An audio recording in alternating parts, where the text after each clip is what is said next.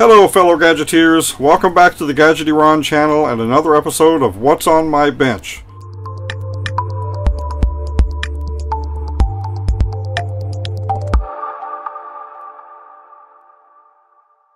Today on the Gadgety Ron workbench we have a Martin 000 X1AE, triple O size body with acoustic electric.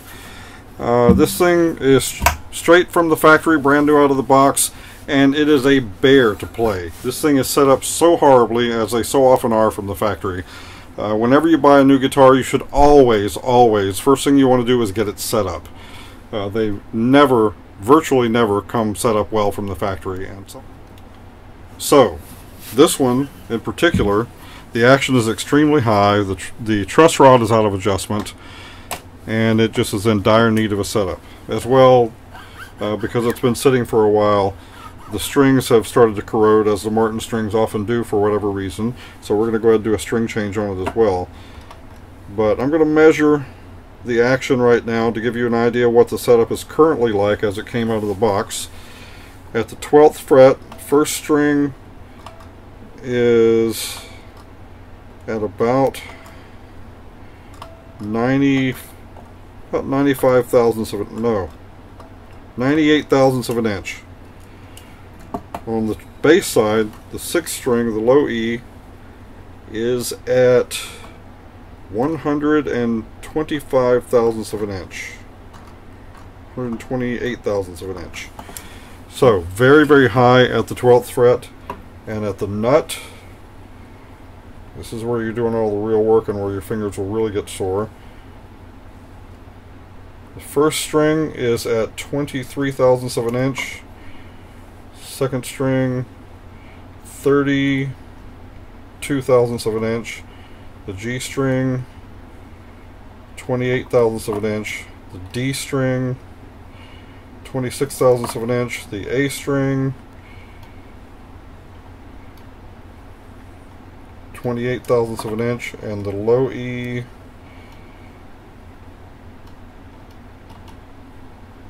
is at 32 thousandths of an inch so the action is way high both at the nut and at the bridge so we're going to first adjust the truss rod second we're going to file the nut slots deeper third we're going to bring the bridge saddle down a little bit and then we'll remeasure the action to see where we are. We'll measure the action several times along the way just to make sure everything's moving along as it should. But the first thing we want to do is check the truss rod. truss rod on this thing, the way we check that is we hold our string down at the 15th fret with our pinky and the first fret with our other hand and then the string forms a straight edge. You want to see how much deflection you get there to give you an idea of how much relief you have in the truss rod.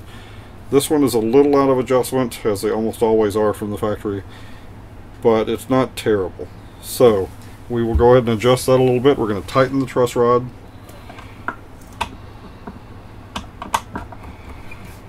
Probably about a quarter turn or so.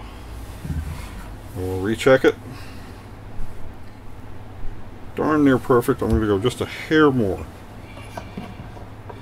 If you ever encounter too much resistance when adjusting the truss rod, you want to stop because you can break the truss rod if you're not careful. It should be relatively easy to turn. If you feel you're having to put a lot of force behind it, then something's wrong. Yeah, there we go.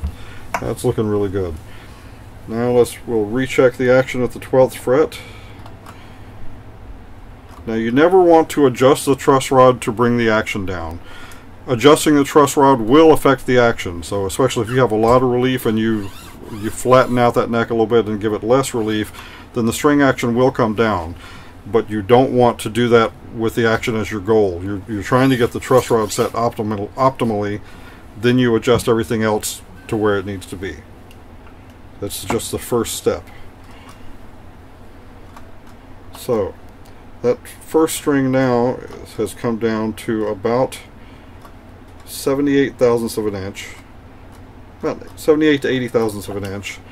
And then the low E whereas before was 120 thousandths it is now 110 thousandths. So it, it came down a bit the action will have also come down a little bit here at the nut so we will recheck here and then we'll start filing those nut slots okay on the first string the high E is at about about 15 thousandths. So we want that around 10 to 12 thousandths. So we're going to start filing these nut slots. Now this is a uh, uh, 0.012 gauge on the first string. So we want to use a, a, nut file that's a little bit wider than that so that the string doesn't bind in that slot. If you use a file exactly the same width as the slot, as the string, then the string may bind in the slot. You'll get pinging and that is your string binding in the slot. It will give you tuning issues every time. You always want to measure twice, cut once as they say. So we're going to file just a little bit and then recheck. It's very easy to cut these slots too deep and then you will have buzzing issues at the nut or the first fret. So, alright, that's looking really good. That's about 10 thousandths.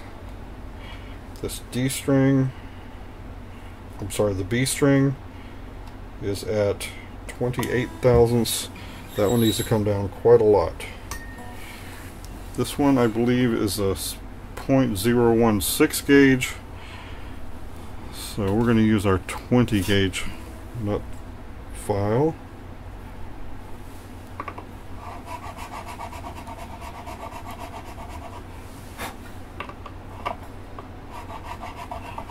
You want to give the thing just a little bit of an angle. You don't want the, the slot to be exactly flat you want to have just a little bit of an angle so that the string breaks at the bridge side, the, the edge of the nut on the bridge side. Otherwise your intonation will be off.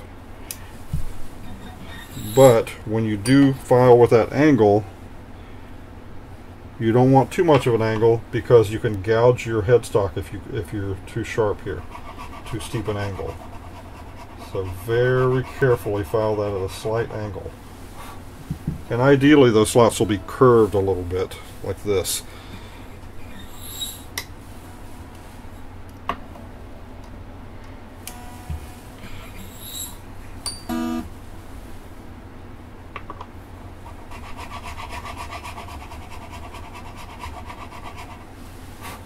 This guitar has a bone nut, so it's a little bit more dense, a little bit harder material than tusk or plastic. So it does take a little bit more effort to file it, but again, you want to be very gentle with these things because it's so easy to go too far.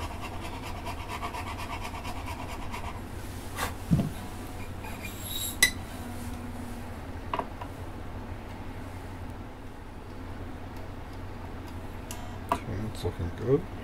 Now the G string, the G string is at about 22 thousandths.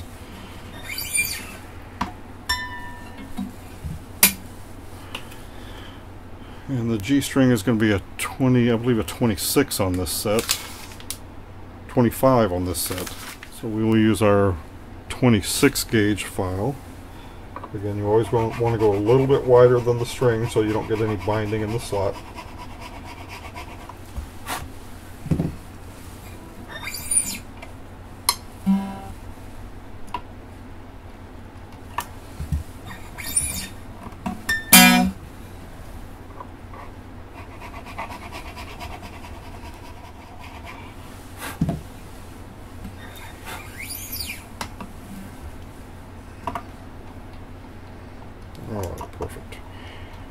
D string is at 22 thousandths. D string on this set is a 32. So we're going to jump up to our 36 gauge nut file.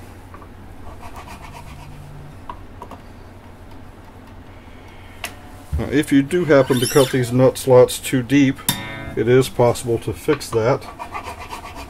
It's uh, typically a job for someone who's got some experience but it involves using bone dust and super glue to fill that nut slot back in a little bit and then you recut it or re refile it to the proper depth. that's looking good. The A string is at about 22 thousandths. The A string is a 42 on this one. So we will use we use our 50 gauge nut file.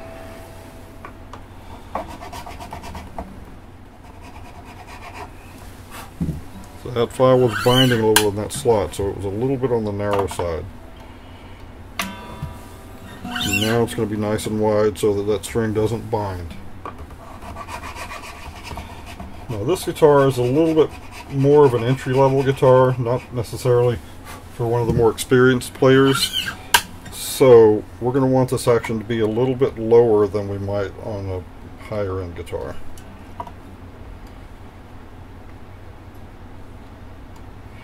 Okay, that low E is at 23 thousandths. We want that somewhere around 16 to 18 for, for this type of player. This is a 54 gauge, so we're going to use our 55 gauge nut file.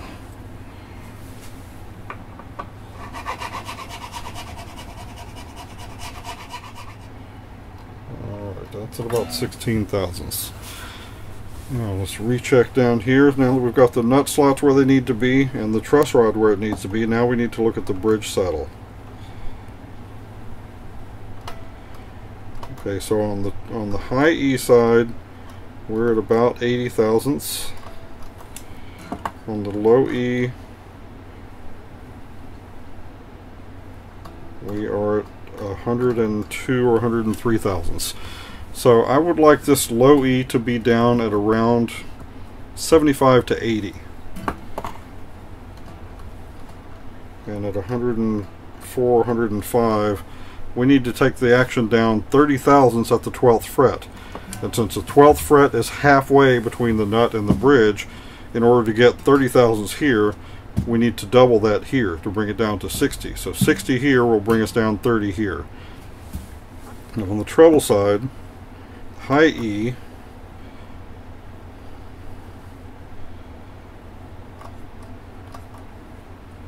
and we're at around 80 maybe not quite 80 okay so I would like to bring this one down to around 60 for this type of player so about 20 thousandths here so we're going to double that at the bridge so 40 thousandths here so 60 thousandths on the treble side I'm sorry, 40 thousandths on the treble side, 60 thousandths on the bass side. That's quite a lot, but we can do it. So what we're going to do first, we're going to get our caliper. There we go. Alright, we're going to use our caliper measure how much to bring that bridge saddle down. We're going to take these strings off. Actually, we're just going to loosen the strings right now. We will do our string change last because we want to do all the work on the old strings.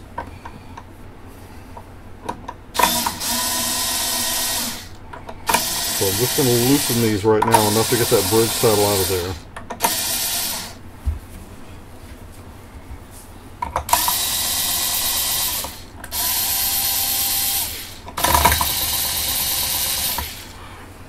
Alright, let's see what that looks like. Now sometimes you can slide this bridge saddle out with a pair of pliers if you're careful and do it gently. So we're going to try that. We're just going to grab it here on the edge, lift straight up, and slide it right out.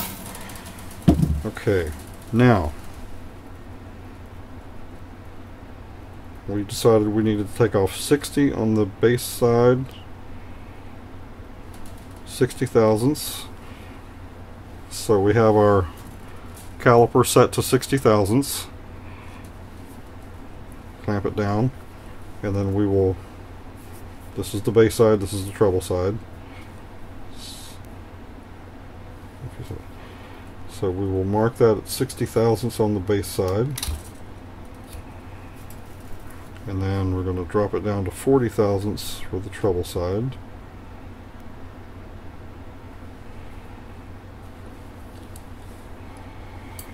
We're just going to cut a little groove there. I don't know if you can see that. A little groove I'll just cut on each side.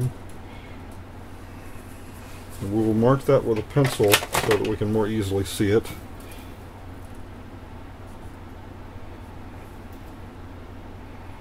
This is either, I think this is a tusk saddle, so it's not too terribly dense. Should be relatively easy to file this down.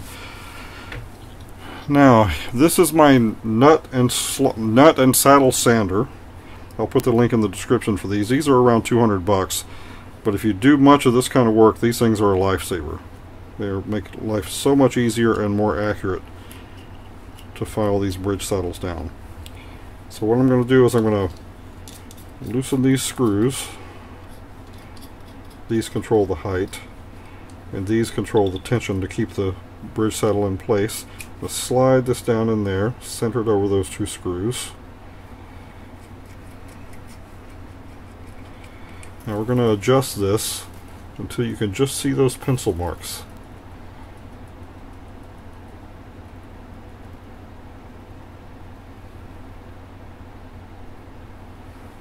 Alright, the height is adjusted. Now we're going to clamp it down with these side tensioners. That nice and snug. Now, this remaining material here on the top, this is what we're going to file away. So, to do that, we're going to first move the guitar out of the way.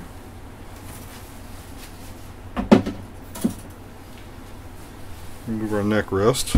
Now I have here on my bench some sandpaper. This is uh, I believe they call it Stikit sandpaper. It's adhesive backed paper. This I believe is a 220 grit. And we're just going to run this this nut and saddle sander rides on these little wheels here. We're going to ride this along along the uh, sandpaper and that will file the bottom of this and it will keep it flat because this nut and saddle sander is going to keep it flat against the sandpaper. If you do, you can do this by hand but it's really easy to, to bend that saddle one way or the other when you're doing it by hand and you will have an unlevel saddle that way. So this, this kind of automates the process. So we're just going to take this, put a little bit of downward pressure on it and we're just going to run it back and forth along the sandpaper. You can see it taking off the material there along the bottom. Now on a on a bone saddle, this takes a lot longer. But on tusk or plastic, it goes pretty quickly.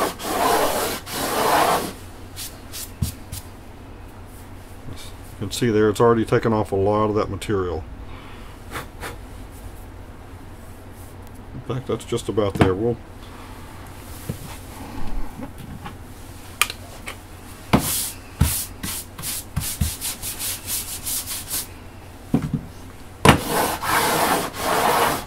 You want to make sure you don't run off the edge of the sandpaper here because then you'll get a little bit of unlevel there.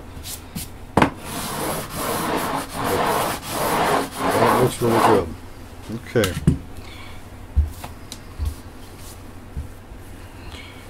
Now we're gonna we're gonna loosen this.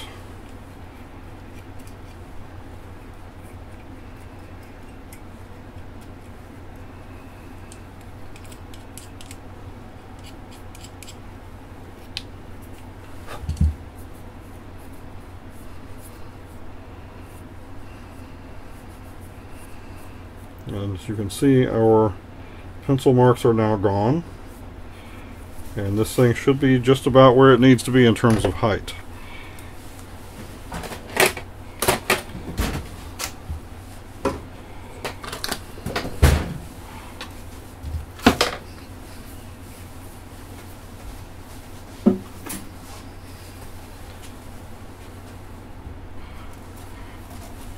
Now we're going to slide this back into the into the bridge.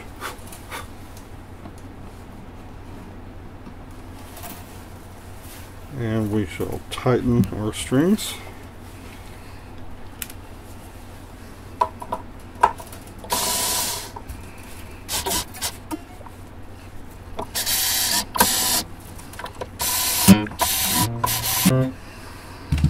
We'll tune it to pitch.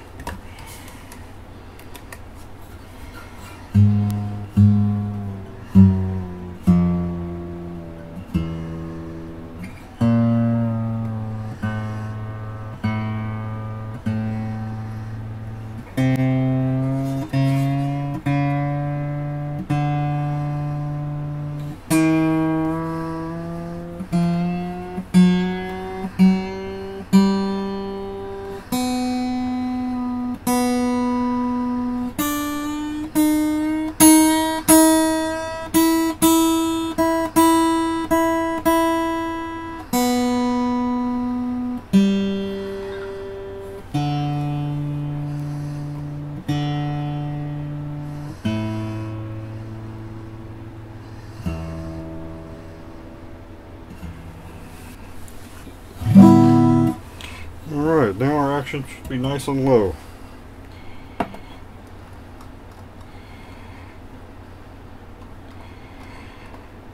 Alright, that put us almost exactly where we need to be. 59 thousandths.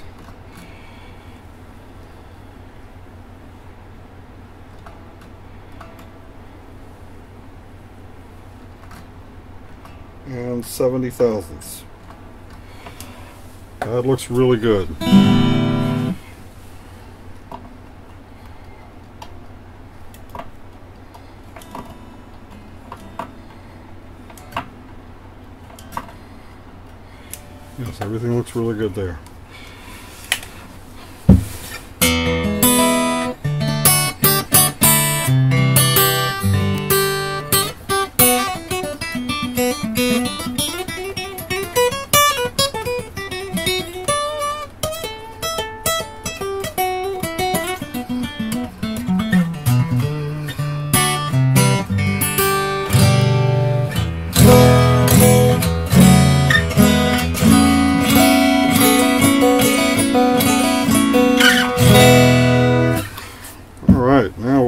Replace these strings. The setup is basically done.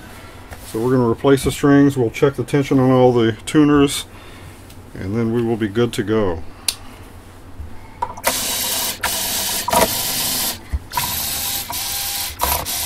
Okay. Okay.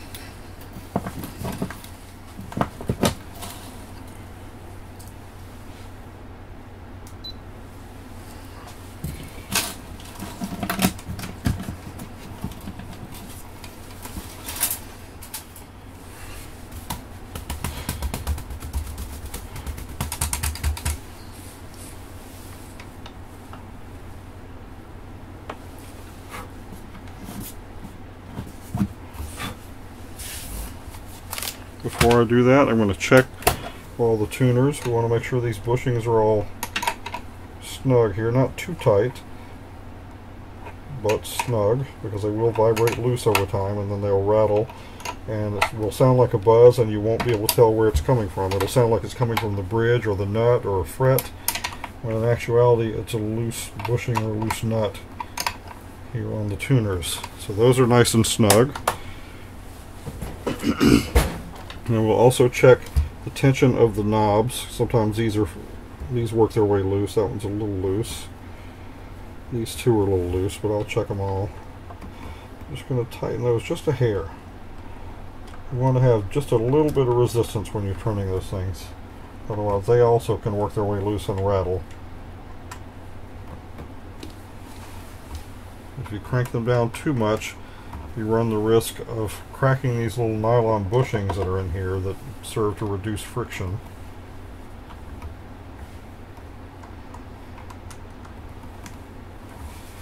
Yeah, it feels good.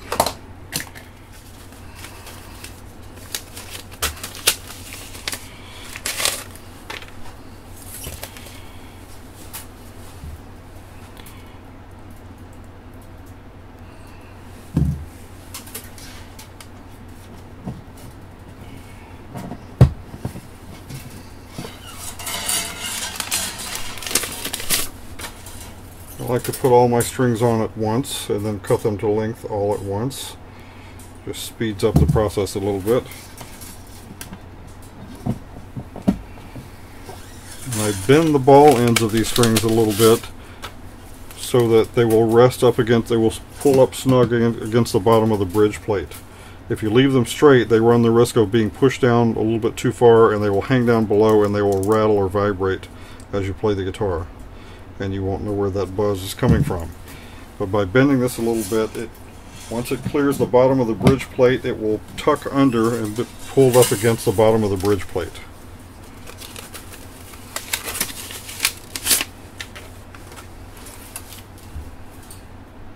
It also serves to reduce wear on the bottom of that bridge plate. Over time, those things will get chipped away and eaten away, and you'll end up having all sorts of structural problems with the guitar as a result.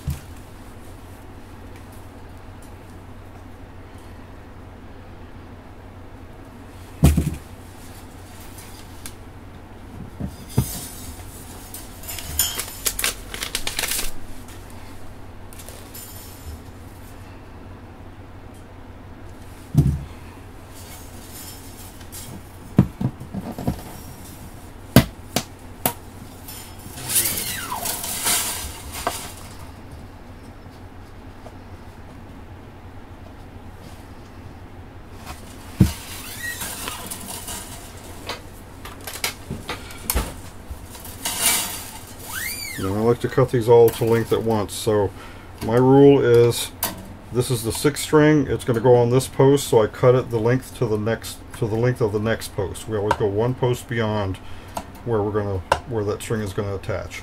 That will give us enough windings around the post to keep it nice and snug and secure. C string. We're going to go about one post length beyond. Now on the G string I like to go a little more because it's a very thin string inside this winding. The unwound part of the string is extremely thin and fragile. So I like to give it a little extra winding on that one around the post. Okay.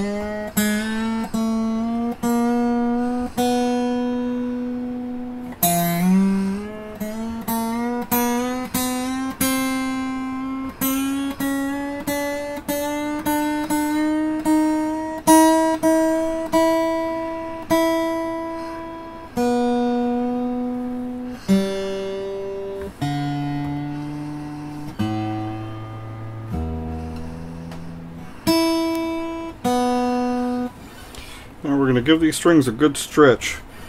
Don't want to pull them too hard because they can break, but we want to stretch them just a little bit because these windings around the string posts, they're going to they're going to settle into position. They'll be stretching for a little while, but they'll settle into position, and once they do, they'll be nice and secure and won't slip. But it'll take a few hours for them to break in and settle into position.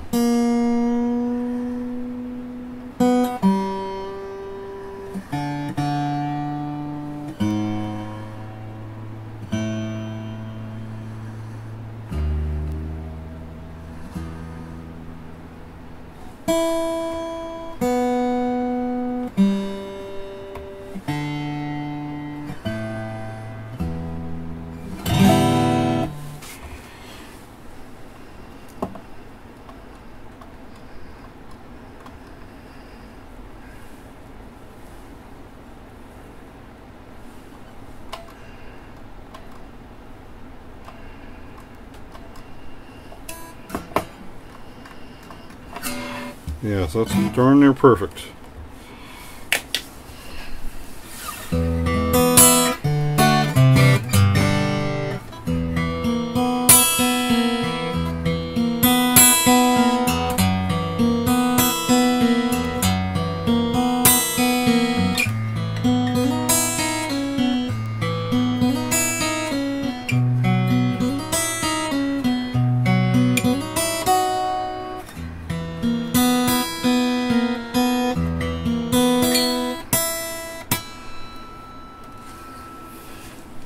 That thing plays like an electric guitar now. So there we have it, our Martin 000 X1AE, all set up and ready to go. Somebody's going to love this guitar. Thank you again for tuning in to the Gadgety Ron channel and another episode of What's on My Bench. Until next time, please consider hitting that like button and or the subscribe button. And as always, I would like to remind you to get gadgety.